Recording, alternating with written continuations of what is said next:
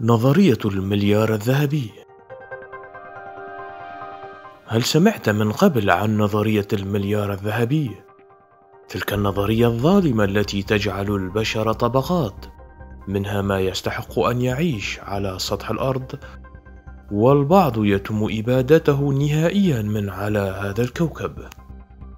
تنص هذه النظرية على أن عدد سكان الأرض يصل إلى سبعة مليارات نسمة.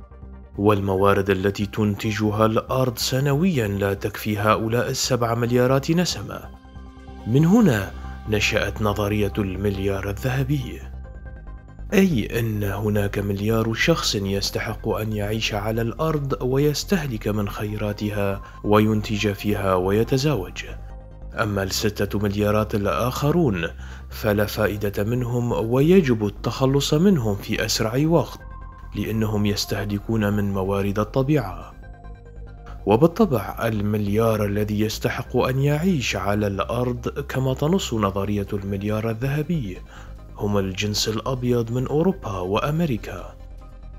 والجنس الذي يجب إبادتهم هم الطبقة الثالثة من المجتمع مثل شعوب الشرق الأوسط وأفريقيا. هؤلاء الأشخاص الذين يؤمنون بضرورة تطبيق المليار الذهبي يعتقدون إنه بالفعل يتم تطبيق تلك النظرية الآن. فيقول هنري كيسنجر نحن اليوم نعيش في عصر المليار الذهبي بالفعل ولكنهم لا يحتاجون لقتل ستة مليارات أخرى فهم ينهبون ثرواتهم ويحرصون على إبقائهم متخلفين ويأخذوا منهم ما يريدون دون مقابل.